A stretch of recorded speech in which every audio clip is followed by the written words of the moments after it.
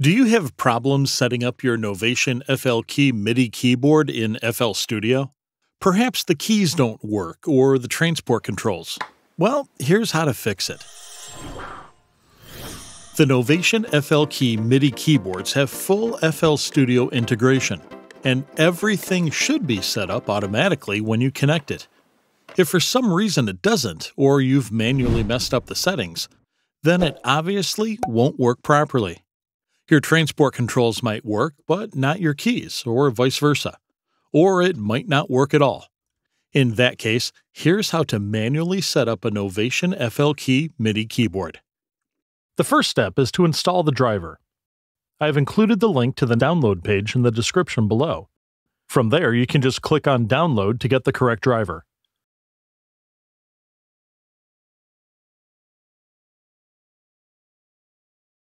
Make sure the keyboard is connected. Then go to Options and MIDI Settings. It should be listed here. If it's not, then click Refresh Device List.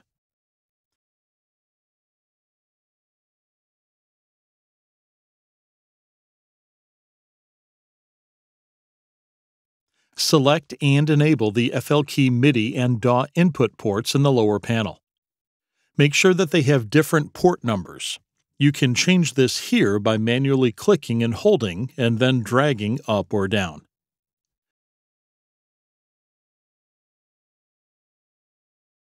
Select each input and assign the correct script here, depending on which FLkey you have.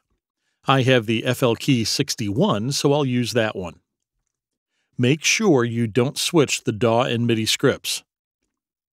DAW for this one, and MIDI here. DAW, MIDI. When you're done, it should look like this. If you can't find the correct script, try clicking here to manually update the list and retry. Now click the output ports in the upper output section and make sure that they match the settings in the lower input panel. Your FLkey MIDI keyboard should now work. If you still have problems, you can try updating the firmware. To update the firmware on your FLkey MIDI keyboard, just go to this website. I'll put the link down below. Then click here. You can either install the standalone version or use the web version. The standalone version didn't work for me for some reason, but the web version did. If an update is available, it will pop up. Click Update.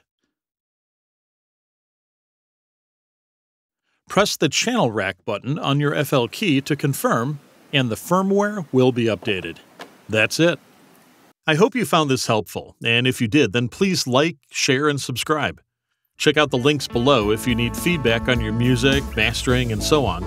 And if you want to support this channel, then consider clicking the thanks button or support us on Patreon. Thanks for watching.